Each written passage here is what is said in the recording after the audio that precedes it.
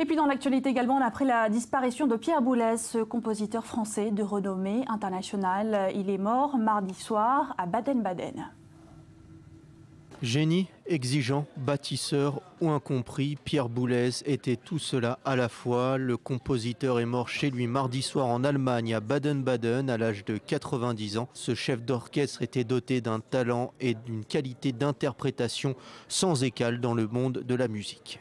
Si vous donnez même une partition que vous, estimez très intéressante et très belle et qu'elle est mal jouée parce que les circonstances ne sont pas prêtées, je trouve que c'est lui faire du tort à ce moment-là.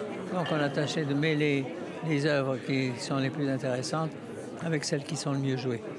Élève du Conservatoire de Paris, premier musicien à faire son entrée au Collège de France, le compositeur a dirigé sans baguette l'orchestre de Cleveland, le symphonique de la BBC et le philharmonique de New York et remporté aussi 27 Grammy Awards. Pierre Boulez était prisé du monde entier pour la richesse sonore de sa musique, malgré sa complexité d'écoute. Féru de mathématiques, l'écriture d'une partition était pour lui une équation à plusieurs inconnus. Il avait coutume de dire que sa musique était une œuvre en devenir.